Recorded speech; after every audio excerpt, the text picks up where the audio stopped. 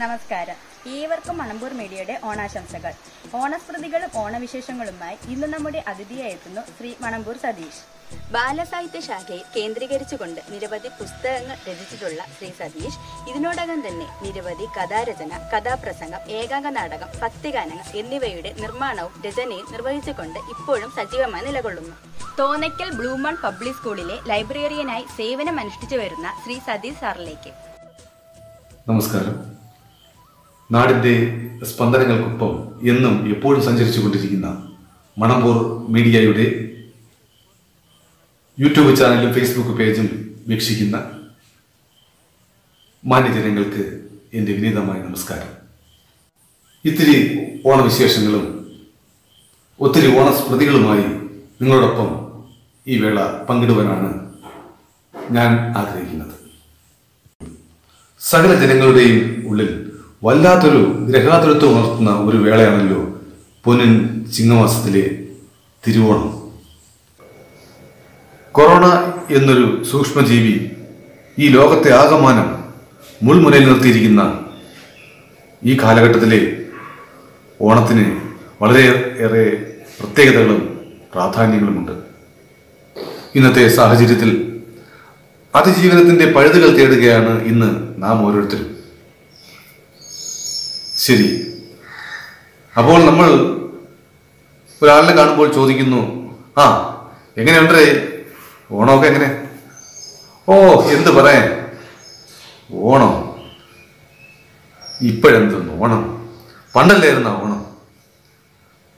കൊച്ചുനാളിലൊക്കെ നമുക്ക് എന്ത് രസമായിരുന്നു ഓണത്തിന്. ഇത് തന്നെയാണ് നമ്മളൊരു കൗമാരക്കാരനോട് ചോദിക്കുന്നു. ചോദ്യം ചോ ആവർത്തിച്ചു കഴിഞ്ഞാൽ അവൻ പറയുന്നു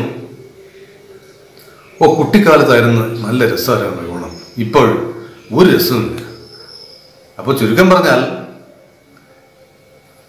നമ്മുടെ എല്ലാവരുടെയും കുട്ടിക്കാലങ്ങളിലെ ഓണമാണ് എപ്പോഴും നമ്മൾ ഹൃദയത്തിൽ സൂക്ഷിക്കുന്ന വളരെ മധുര അനുഭവങ്ങൾ ഉള്ള ഒരു ഓണം. എന്റെ ഓണസ്മൃതിയിൽ ഓണത്തിന്റെ ഒരു കേളികൊട്ട് ആരംഭിക്കുന്നത്. യഥാർത്ഥത്തിൽ കർക്കിടകത്തിന്റെ ആ മഴക്കാറെല്ലാം ഒഴിയുമ്പോൾ വീട്ടുമുറ്റത്ത് കൊയ്തു വയ്ക്കാനുള്ള കളം ഒരുക്കൽ അതായത് ചാണകം മെഴുകി മുറ്റം വെടിപ്പാക്കുന്നു. അപ്പോഴാണ് നമ്മൾ മനസ്സിലാക്കുന്നത് ആ ഓണത്തിന്റെ ആരംഭം. നല്ല നല്ലതുപോലെ മുറ്റമെല്ലാം മെഴുകി. ചിലപ്പോൾ ഓണത്തിന് മുൻപേ ആയിരിക്കും കൊയ്ത്ത്. ചിലപ്പോൾ അല്ലെങ്കിൽ ഓണം കഴിഞ്ഞിട്ടായിരിക്കും. ഓണത്തിന് മുൻപാണ് കൊയ്ത്ത് വരുന്നതെങ്കിൽ നമുക്ക് ഏവർക്കും ധാരാളം പണികളുണ്ടാവും. പുലി ഉണക്കുന്നു കച്ചിൽ ഉണക്കുന്നു അത് കൂട്ടണം. പിന്നെ അതുമായിട്ട് വെച്ചാൽ ധാരാളം പണികൾ. അപ്പോൾ വീട്ടിൽ അത്തക്കളം അപ്പോൾ ഈ മുറ്റത്ത് നമുക്ക് ഈ കൊയ്ത്ത് നേരത്തെ വരുന്നെങ്കിൽ അത്തം വലുതായിട്ടൊന്നും ഇടാൻ പറ്റത്തില്ല.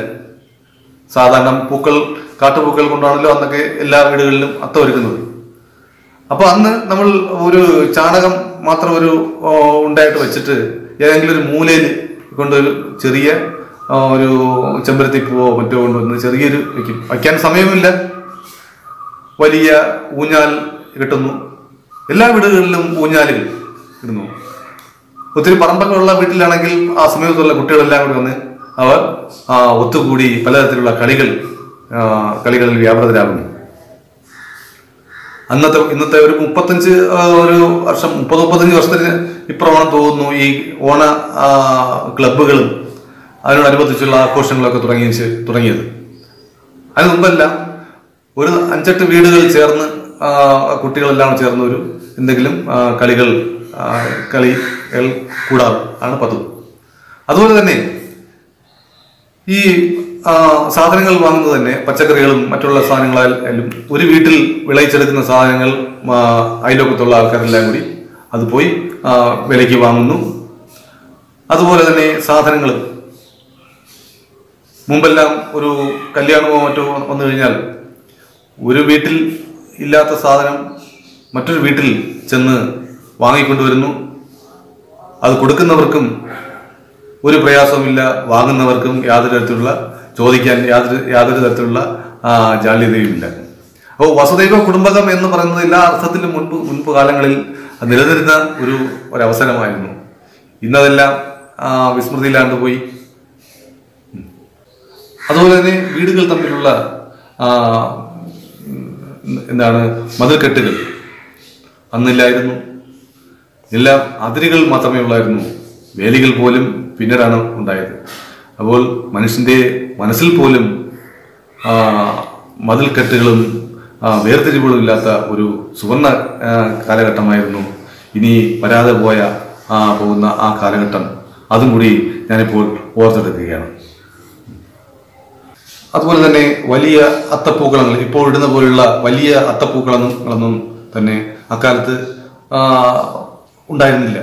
എല്ലാ വീടുകളിലും ഇടുന്ന ഒരു സാധാരണ വലിപ്പത്തിലുള്ള അത്തപ്പൂക്കളം ആയിരുന്നു ഉണ്ടായിരുന്നത്. പിന്നെ പറയത്തക്ക എന്നുള്ളത് എല്ലാ വീടുകളിലും ഒട്ടുമിക്ക വീടുകളിലും ഓണത്തിനോടനുബന്ധിച്ച് തേങ്ങ ആട്ടി കൊപ്രയാക്കി അത് ആട്ടിയെടുക്കുന്ന വെളിച്ചെണ്ണയുടെ ഒരു സുഗന്ധം. അതൊന്നും ഇപ്പോൾ ഇനി ഒരു കാലത്തും ഇല്ലാതെ പോകുന്ന ചില പ്രത്യേകതകളാണ്. എണ്ണ ആട്ടിക്കൊണ്ടുവരുമ്പോൾ ഉണ്ടാകുന്ന ആ ഒരു സുഗന്ധം അത് വെച്ച് ഉണ്ടാക്കുന്ന മധുര പലഹാരങ്ങളുടെ രുചിയും അതെല്ലാം നമുക്ക് എന്നേക്കുമായി വിസ്മൃതിയിലാണ് പോയ കാര്യങ്ങളാണ്.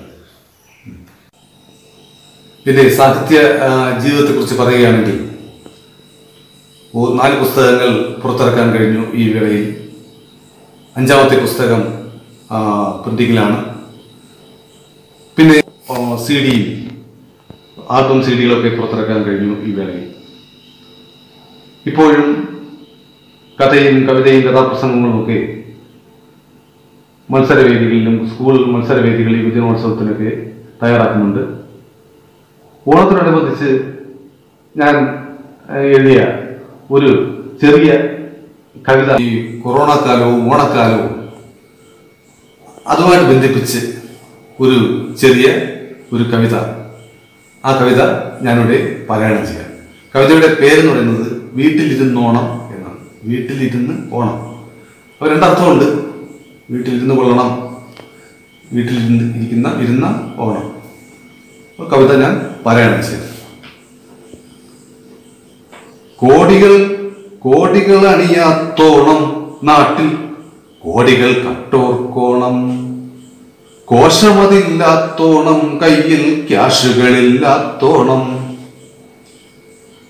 നെറ്റിൽ കാണാമോണം ചുമ്മാ ചുറ്റി നടപ്പോർക്കോണം. ശകലം കരുതലു വേണം പിന്നെ അകലം പാലിച്ചോണം. മാസ്ക് ധരിച്ചു നടന്നോണം ബിവറേജിൻ ടോക്കൺ എടുത്തോണം ഓൺലൈൻ ഓണം കണ്ടോണം നാം ഒന്നിക്കാതെ കഴിഞ്ഞോണം. നാടൻ പൂവിട്ടോണം വതനം മൂടാൻ തുണിയിട്ടോണം. Ration മുറപോൽ ചെന്നോണം free കിറ്റും വാങ്ങിച്ചോണം. വൃദ്ധജനങ്ങൾക്കയ്യോ ഇക്കുറി വീട്ടിലിരുന്നോണം വെറുതെ വീട്ടിനുള്ളിലിരുന്നോണം. അപ്പോൾ കവിത കഴിഞ്ഞു. അപ്പോൾ മണമ്പൂർ മീഡിയയുടെ എല്ലാ പ്രേക്ഷകർക്കും എന്റെ ഹൃദയംഗമമായ ഓണാശംസകൾ. നന്ദി നമസ്കാരം.